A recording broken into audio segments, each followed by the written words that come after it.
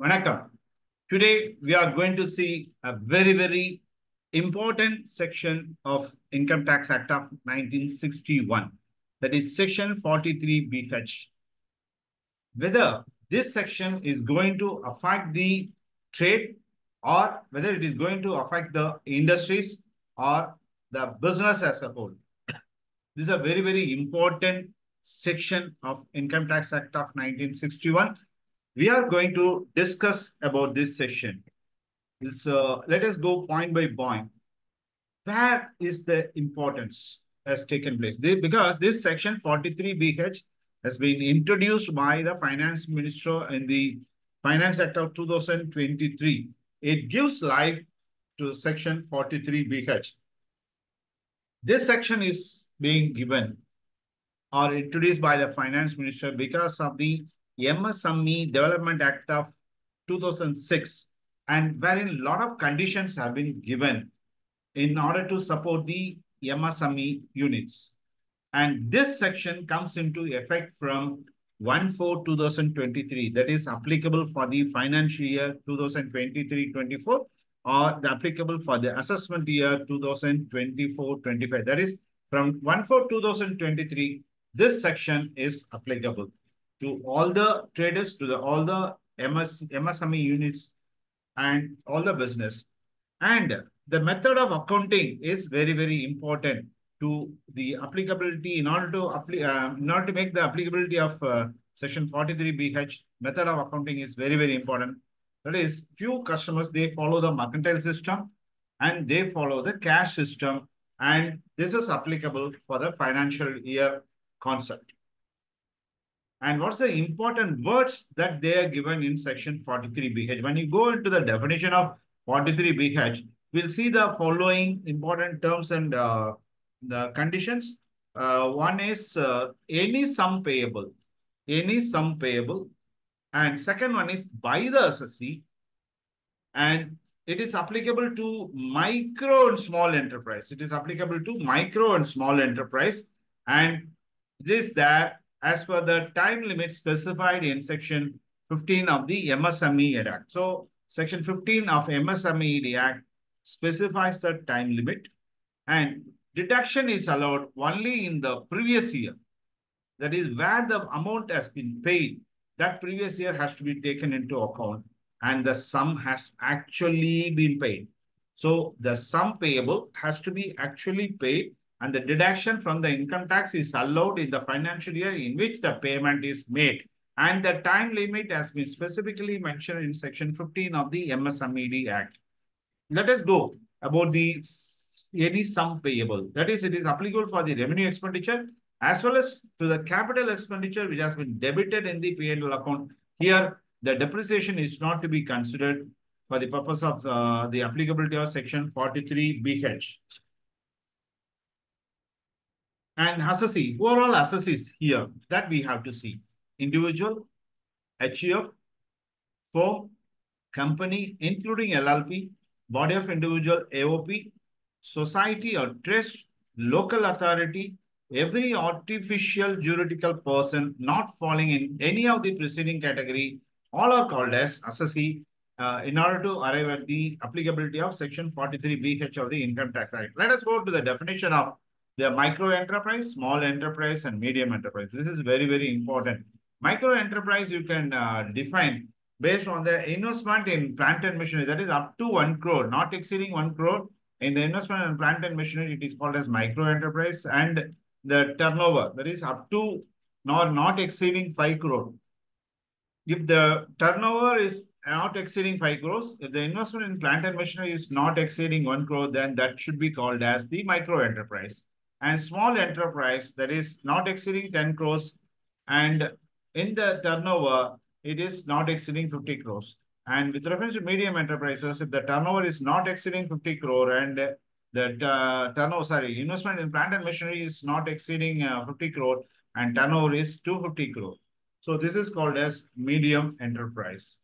And for this, this provision is applicable only for the micro enterprise. It is not applicable for the medium enterprise. It is not applicable for the medium enterprise. And also it is not applicable for the traders.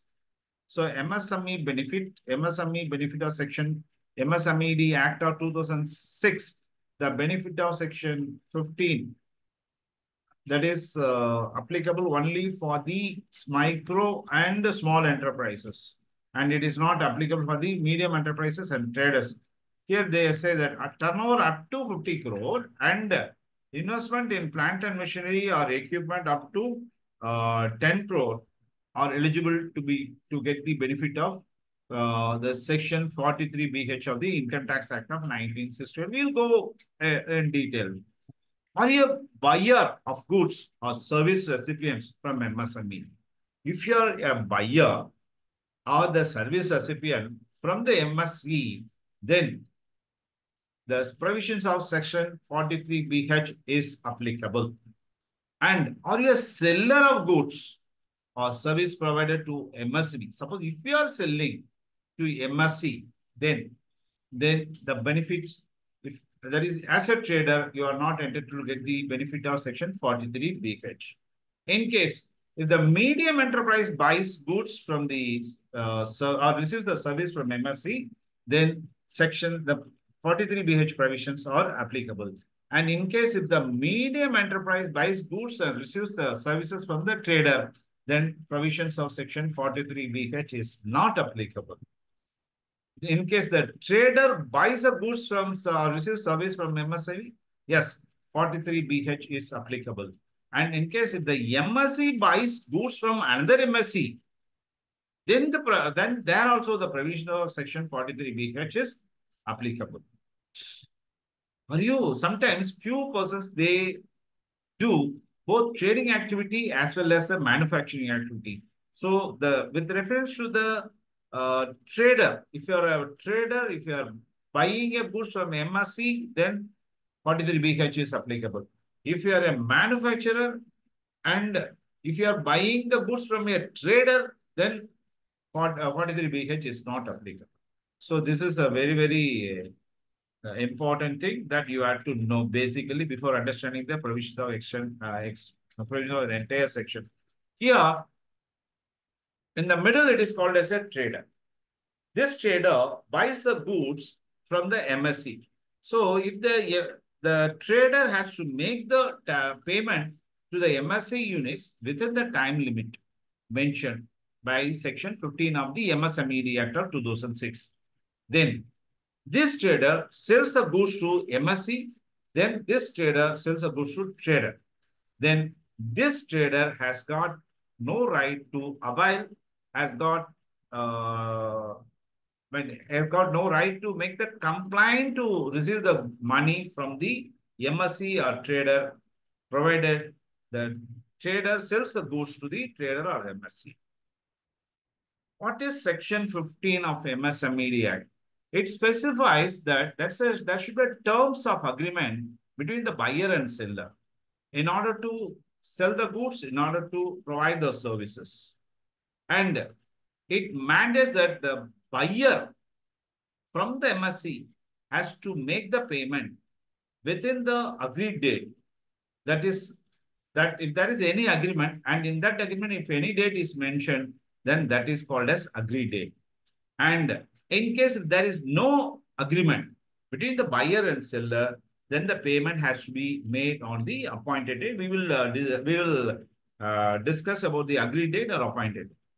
Whichever is earlier. Suppose in the agreement, the buyer has to make the payment within 60 days or 45 days. The MSMED Act says even though you have agreed for 60 days, whichever earlier is applicable, then the buyer has to make the payment within 45 days. This is very, very important. So that is the with the reference to the agreement. Suppose if the agreement date is within 30 days, then the trader has to make the payment to MSE, then 30 days. In case if the agreed date is 60 days, then the maximum date is 45 days. So within 45 days, the trader has to make the payment to the MSE units.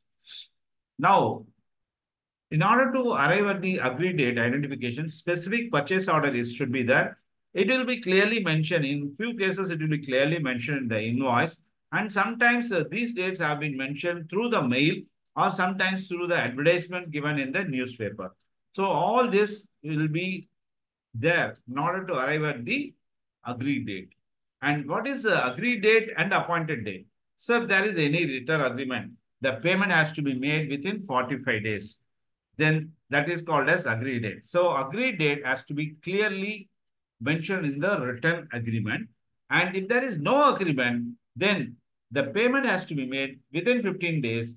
And if the payment has not been made within 15 days, then the next day to the 15 is called as appointed day. So section 2b defines the appointed day as the day immediately following the expiry of 15 days prior to the day of acceptance or deemed acceptance of goods or services by the buyer from supplier. Here, we have to understand the definition of the day of acceptance or deemed acceptance of goods. What is this? That we will see. See, for the purpose of this class, the day of acceptance is, is, is not the day of preparation of the sale invoice. It the act clearly say the day of actual delivery of goods or rendering the services. It is not the day of preparing the invoice. The actually the goods reaches the buyer. That is called as actual delivery of goods. In case after the receipt of the goods, if the buyer is not convinced with the quality or quantity or some defects is there in the supply of goods, then the buyer has to make the complaint to the seller, that is MSE unit, within 15 days of the receipt of the goods, within the 15 days of the delivery of the goods. Then these mistakes have to be rectified. These complaints have to be rectified by the supplier. Then after the rectification, if the goods have been sent by the MSE units to the trader, then the date of delivery by the trader after the rectification is called as the day of acceptance. So day of acceptance, when you calculate the day of acceptance, actual delivery of the goods. If it is in good, then that is the day of uh, uh, the, the if it is good at the time of delivery of the goods, then that is called as day of acceptance. If it is not there and if there is any complaint, then you have to exclude all the complaint date, that is rectification date. Then after rectification, the goods have been received by the uh, buyer, that is trader, then that is the day called as the day of acceptance. In case there is no objection, if there is no objection, then that means the day of receipt of the goods is called as the day of deemed acceptance. Let us see from the example. What is the day of acceptance? In the first example, the actually delivery date is 3823 and uh, there is no objection by the buyer to the seller. So the day of acceptance is 3823. And point number two, 3823 is the actual delivery and there is an objection and this objection has to be made on or before 4923. Uh, on a, that is uh, this objection within 15 days he has to make. So within 15 days means uh, 1 plus 4. That is before 14.9.23, the objection has to be made. But actually the objection has been made within 15 days. That is on 4.9.23. So the, these objections have been rectified by the seller on 15.9.23. So with reference to point number 2, the actual uh, day of acceptance is 15-9-2023. Point number 3, 10, 12, 23 is the uh, actual delivery. There is no objection. So the day of acceptance is 10, 12, 23. Point number four. The 10, 12, 23 is the actual delivery, but the complaint is made beyond 15 days. Beyond 15 days. That is, the complaint has to be made within uh, 50, uh, within 15 days. That is 25, 12, 23 but they made the complaint on 30, 12, 23. So here, the day of delivery, day of acceptance is 10, 12, 23 because the complaint has been made after 15 days. Here, day of deemed acceptance. Deemed acceptance means there is no complaint. So 15.523, point number one, the day of deemed acceptance is 15.593. But in point number two, there is a complaint. So that date should not be taken into account and it that date should not be treated as day of deemed acceptance. So here day of day of acceptance concept comes into the picture. Point number three, 3124 is the day actual delivery, but there is no objection. So the day of deemed acceptance is 31 2024. You just go through the chart very carefully so that you can easily understand the concept, uh, words of day of acceptance, day of deemed acceptance. Here, the financial year in which the payment is made has to be considered. Suppose if the payment of 23-24 has been made on 24-25, then the deduction will be allowed only in the financial year in which the payment has been made. Payment is due in this financial year, but paid in the next financial year, then payment can be claimed as expenditure only in the financial year in which the payment is made. Here, the transaction took place in the current financial year, but the payment is due in the next financial year. But before the due date of uh, the before the due date, the party has made the payment to the seller, then the deduction can be claimed in the current financial year. In case if the payment is being delayed and paid late in the next financial year, then the deduction can be uh, claimed only in the next financial. We can see this by way of this chart. So point number one, the transaction date is 15-1-24. The due date of the uh, loan is uh, 45 days. Let us say that it's an agreed date. It is an agreed date. 29, 12, 24. Instead of the, that means the transaction which took place on 15, 1, 24, the payment has to be made on 29, on or before 29 to 24, but the party has actually paid the payment on 15 to 24. So this point number one, the deduction is allowed in the financial year 23-24. Point number two, for uh, the due date of uh, 29 to 24, the payment has been made in the uh, on 15 3 24 but before the end of the financial year 23 24 so the deduction is allowed on i mean this is allowed for the financial year 23 24 point number 3 the due date is 29 to 24 but the payment has been made on 1 4 24 that is the the next financial year. So the eligible deduction is 24 25 only. You can claim it as expenditure. Point number 4 the due date is 29 to 24, but the payment is being made by the party to the seller on 4-6-24. So the deduction is allowed for the financial year 24-25 because only in the next financial year the payment is made after the due date. So point number 5, the due date is 29 4 24, but the payment has been made before 26 4 24. Here, the transaction took place on 15 3 24 the 45 days concept ends on 29 4 24 so the but the payment has been made before the due date. So the eligible deduction is 23 24 in that year you can claim the expenditure you can claim the expenditure. Point number 6 the due date is 29 4 24 but the payment is being made after 29 4 24 so as per the concept of 43 bh the deduction will be allowed only for the financial year 24-25. I think you can easily understand. The concept is before the due date, you have to make the payment. In case if you delay the payment and the payment has been made in a particular financial year, then you can claim the expenditure. Suppose if the payment is made in the next financial year, for this year, you are not entitled for the income tax exemption, income tax deduction, you will be entitled only for the next year. And now it is appointed date. Appointed date means it is 15 days. So here the due date is 1-3-24. The appointed date is the next day following the due date, that is 2-3-24. The payment has been made on 29 to 24. So you are eligible for the deduction for the year 23-24. In point number two, the due date, appointed date is 29-3-24, but the party has made the payment on 5-4-24 so the, it is eligible for the deduction for the year 24-25. Point number three. Instead of, uh, that is 29-3-24 is the appointed day. Party has made the payment on 27-3.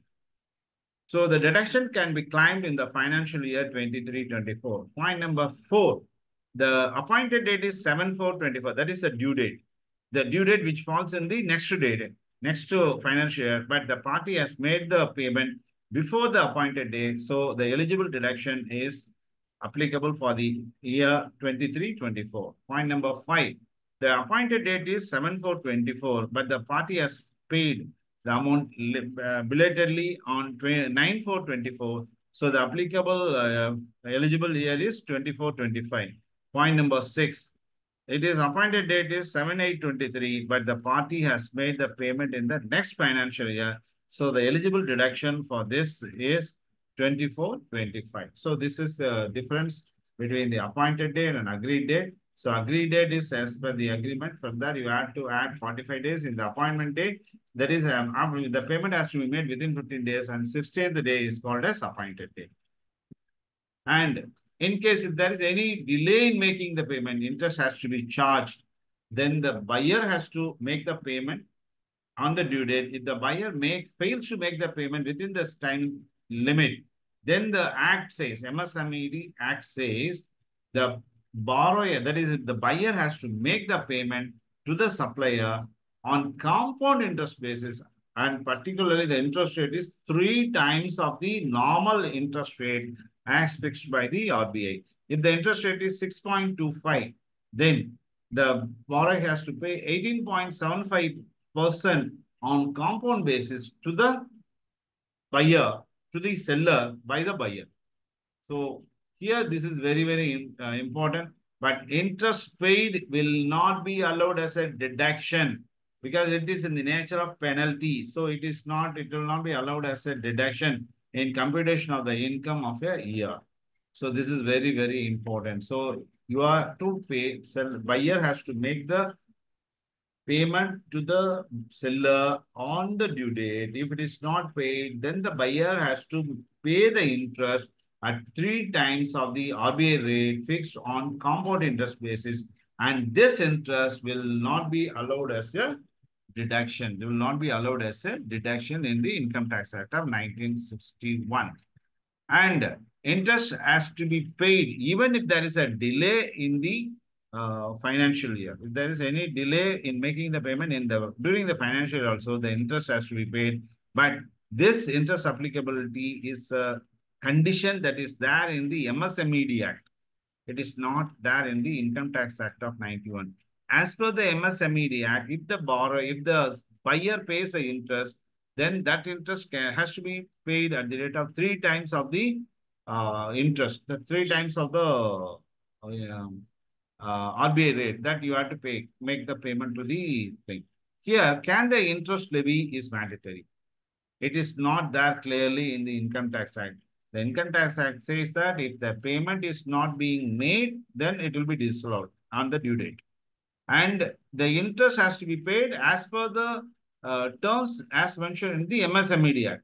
So it is not mandatory in the, according to me, it is according to me, it is not mandatory in the Income Tax Act, but it is mandatory in the MSMED Act if the supplier makes the complaint under MSMED Act.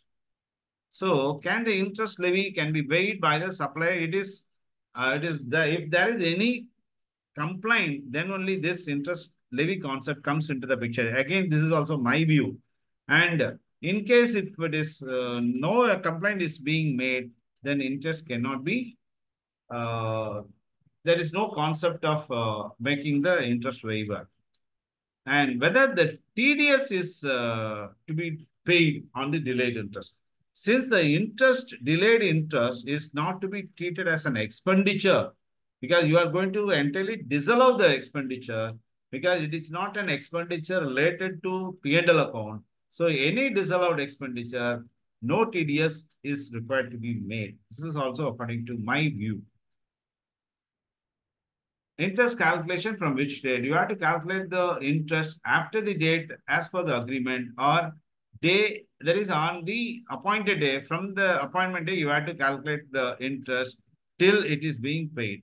So here the very very important point that you have to bear in mind is that there is a provision there is a section called 43b of the income tax act. The 43b of the income tax act from point number a to g section a to g says that even though the payments had not been made during the financial year in but the assessee has made the payment before filing the income tax returns, then that ex that payment is allowed in the respective financial year. Suppose uh, for 23 20 for 23 24 there is a tax duty levy and it is not paid on or before 31-3-24, but it has been filed, it has been paid before filing the income tax return, say on 31-7 or 39 or 30-11, then this is allowed. But with reference to 43BH, the benefits of 43B A to G is not applicable for the payment to the micro and small enterprise because even though you made the payment before filing the income tax return, these benefits are not applicable. What's the implication? That is, if it is a capital expenditure and if it is also a debit in P&L account, the benefits of 43BH is allowed. And depreciation, against the depreciation, you cannot claim the benefit of section 43BH. GST implication, it is very, very simple. If you debit the GST as an expenditure in P&L account, then provisions of section 43BH is applicable. In case if you treat the GST as input credit and put it in the balance sheet, then provisions of section 43BH is not applicable. So this is a very, very important thing that you have to bear in mind. Next one is the applicability of wholesale and retail traders. The Ministry of MSME say that the traders are also entitled to get the Udayam registration. This benefit is applicable to treat the uh, industry, that is traders as the priority sector lending purpose only. And the other benefits are not av available with reference to delayed payments benefits have not been extended to the traders in case if there is they say that these delayed payments have not been extended and it has been clearly explained or clarified by the Ministry of MSC on 1-9-2021. And 43BH, hence the 43BH is not applicable to wholesale and retail traders as the delayed payment provisions are not applicable. So traders cannot make a complaint to under the MSME Act, though they have obtained uh, the benefits of uh, registration, they are not entitled to avail the benefits of section 43BH. Is Udayam registration mandatory? It is discretionary as per the MSME Act, but to make the complaint under section 43BH, Udayam registration is must. It mandates Udayam registration in order to claim the benefits by the supplier. Here one has to remember though on the date of supply, on the date of supply, if the supplier is holding the Udayam registration, then the provisions of section 43BH is applicable. Now, this is clearly stated in Supreme Court in Silpi Industries versus Kerala State Road Transport Corporation. It has been held that the enterprise should be a registered on the date of supply for availing the delayed payment benefits under MSME. That is, today he has billed. At the time of billing the uh, goods, he, this unit is not registered as MSMED Act. That is, and he has not availed the, he has not got the Udayam registration. Then after that, in order to avail the benefit of section 43BH, this unit has registered under Udayam registration. The Supreme Court say that the trans, whenever you want to avail the benefits of section 43BH on the date of supply, you should have Udayam registration. Otherwise, you are not entitled for the benefit of section 43BH. So, in few cases, today they surrendered the Udayam registration because due to some extraordinary forces, few traders, few sellers, now they started to surrender the uh, Udayam registration. Even if it is there, then on the data supply, if the sub, if the MSE units, they are holding Udayam registration, they are entitled for the benefits of section 43BH. For cash system, uh, following assesses, these provisions are not applicable. And in case if there is any dispute, this is also the section says if there is any dispute, you have to exclude the uh, dispute period. Few persons now they started to take the shelter by way of getting the dispute letter in the, I mean, predated dispute letter they used to get in order to avoid uh, the payment on the due date. So they say that this has to be made by the buyer to the seller within 15 days. That is, the complaint has to be made by the buyer to the seller within 15 days. Till the dispute is settled, those days have to be excluded uh, from the 45 days or 15 days. And few customers, they took the shelter under this dispute category. But this is not advisable. And regarding the presumptive tax, these provisions of section 43BH is not applicable. If any associate avails the or files a return under uh, presumptive taxation concept, then these provisions of section 43BH is not applicable.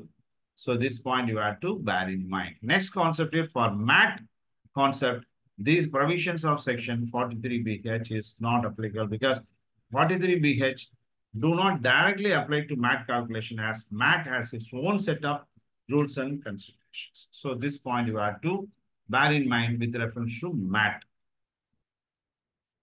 So disallowance specified in 43BH for regular assessments are not mirrored in MAT computation. Then this is the highlight of uh, MAT and section 43BH. Now, whether the provision of section 43BH is applicable to the charitable trust. Yes, if you file the return under section 11 to 13, then provisions of section 43BH is not applicable because in that case, those charitable uh, uh, trans, uh, those charitable institutions, they are not doing any business. In case, due to some uh, business nature, some charitable institutions, they are doing some business. So that is applicable. In case the trust is doing any business, then for the business portion, section 43BH is applicable.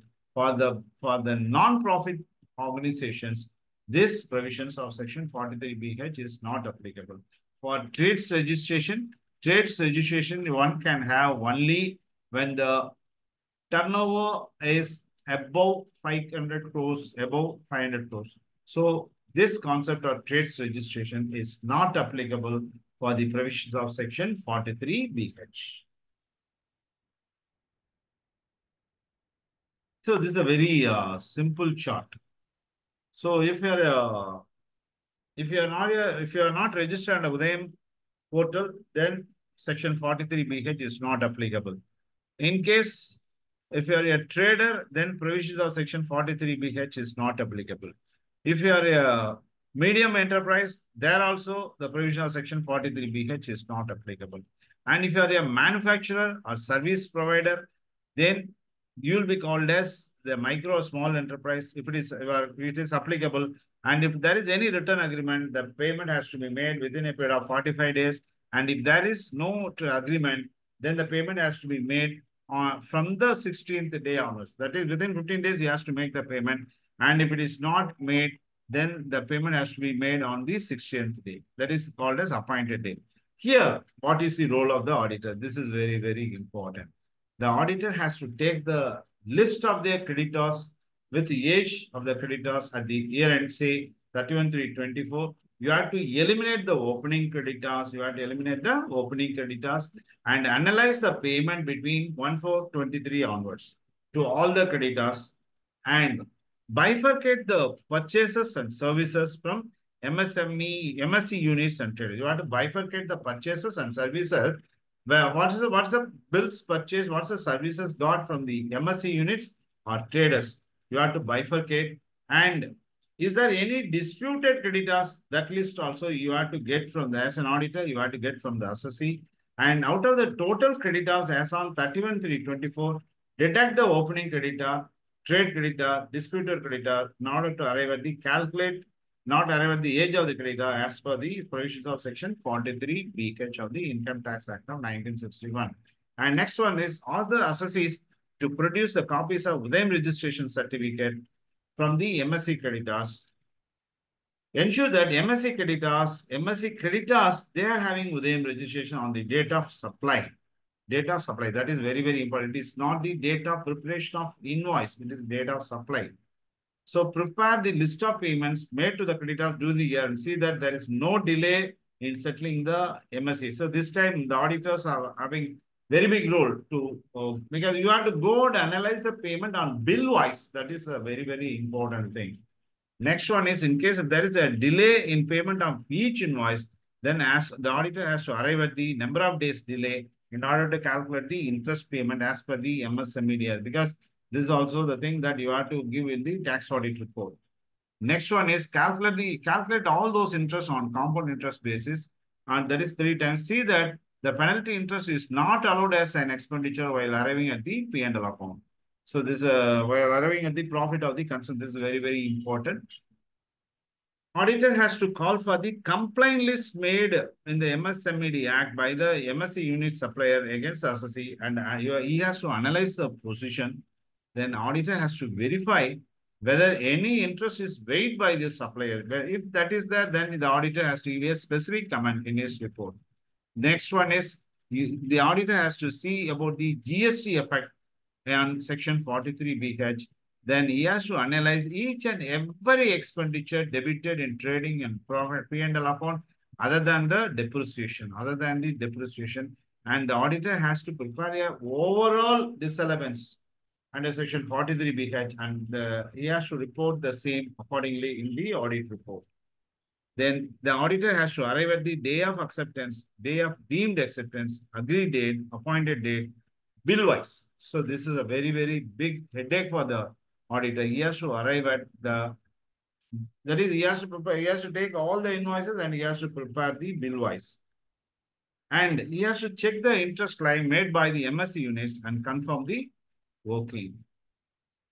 Next important role is that discuss with the client that I am going to report this. This is also very, very important. Next point, the auditor has to see that the tax effect, because of this disallowance, what is the tax effect that he has to see. Then he have to, you have to educate the client with reference to tax planning under section 43BH. So this is a very, very important thing that is an auditor has to educate the client. In case of the company, the auditor has to verify whether form MSME 1 was filed with MCA on half-yearly basis. That point also he has to see. Then upward classification has to be, that means every year the auditor has to see whether the uh, whether the seller is remaining, I mean, he is remaining in the same category of micro or small enterprise, or whether he has moved to the medium enterprise. Every point then the auditor has to verify. That is, every year the auditor has to call for the, uh, has to, uh, has to call for the um, uh, medium, uh, has to call, verify the medium enterprise. So upward classification has to be verified by the auditor. Now we are coming to the very important area of tax audit report. Initially, they introduced CBDT has issued a notification on 5324 by amending class 26, but it has got, uh, it is not serious, but there are a lot of loopholes out there.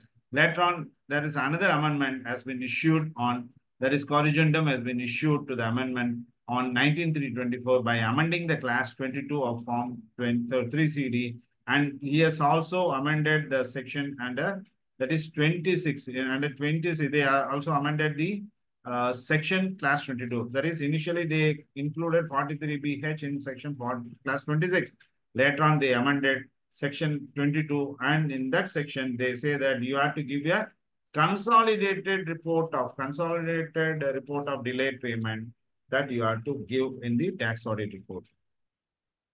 The tax auditor need not report the breakup, but report the disallowance of payments in full. So if the auditor says that it is a full disallowance, then automatically it is very easy for the department to disallow the expenditure.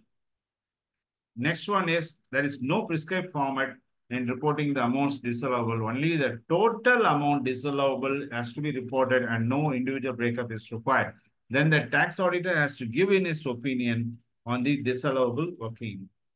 Tax authorities has to verify whether the payments due to MSE are otherwise admissible in terms of section 30, 37.1 and not liable for disallowance as per the explanation given below section to section 37.1 or section 40 or section 40A. So if there is any disallowance in the other section, then 43BH is not applicable. Then another important point is for disallowed expenditure, very simple concept. If there is a disallowed expenditure, then section 43BH is not applicable. Then report in delay payments, but payments, you have to report only the delay payments. In case if the payment has been delayed, delayed in payment mode is been delayed in the next year, and they paid in the next year, that is immaterial because you are going to issue the certificate only for the financial year ending 31 3 24 in case if the payment is being made on 15 5 24 you need not worry at all. Next one is there is no need to report the delayed payment on or before 31 3 24 but the interest working has to be reported by the chartered accountant. In case if it is a cash system of maintaining the auditor need not report anything. This is a very very important thing. And now what's the tax planning and doubts? Few people say that sir can say uh, there's a opening creditors Besides, we also uh, got some uh, payment during the, we also got some goods during the year. So whatever may the, whatever be the payment that I made to the creditor, instead of adjusting the opening creditors, can we adjust the purchases which we have made during the financial year? The concept is no. The payment has to be made to the creditors and the adjustment should be made on the FIFO basis and not LIFO basis. And sometimes few customers say that, sir, we have made the payment, we have issued the check. But indirectly, they say that they'll ask the supplier, sir, don't put the check for collection. We have made the payment on the due date. You kindly hold the check. Whenever we have got uh, money, we'll ask you to put the check for collection. This is also uh, the one of the tax planning. Few customers now they started to do it. So that is they issued the check on due date. So as per the norms, the payments have been made on due date.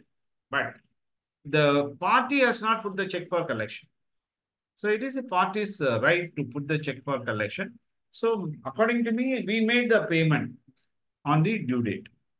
So this is also another move. And sometimes they, few customers, they want to took the shelter by way of getting the dispute letter on the antedate. So on predate, in predated uh, dispute letters, few customers now they started to get in order to our, I mean, in order to avoid the complaints under section 43BH. And few customers ask the supplier to surrender the Udyam registration. This is a very, very dangerous thing. Because the supplier would have availed their loan from the bank uh, by treating them as the priority sector, they would have availed the interest concession. If the supplier has surrendered the Udyam registration, then they will be losing the right of climbing the priority sector and their loans have to be paid on the higher interest. So this is also another planning. And next one is get a letter from the MSE that we will not make any complaint under the MSME Act. Is it correct? This is also not correct. This is also not correct. They say that you cannot prevent a person in going and approaching the law. I will not make complaint. So it is only a temporary thing. But when you produce this letter before court of law, court, they will never agree. According to me, according to me, the court will never agree because you cannot prevent anyone from availing the benefits of the laws of the country. You cannot prevent. In, because in order to make the payment, you are forcing the customer to issue the letter like that. So any letter obtained by the buyer by way of indirect force of non-payment of funds then that letter also is not valid. And this is what I want to say with reference to section 43 because it's a ocean. It's a very, very important section. Please go through it. And you have got a lot of uh, opportunities in 43 BH uh, section. I mean, all the auditors, they got a lot of uh, very big headache. When we can, we have to pay a lot of time to give the report. We have to verify each and every invoice whether all the invoices are eligible for 43BH, everything that we have to see. So this is what I want to say with reference to this provision of section 43BH. And thank you very much for the patient hearing. Nandri, Vanakkam.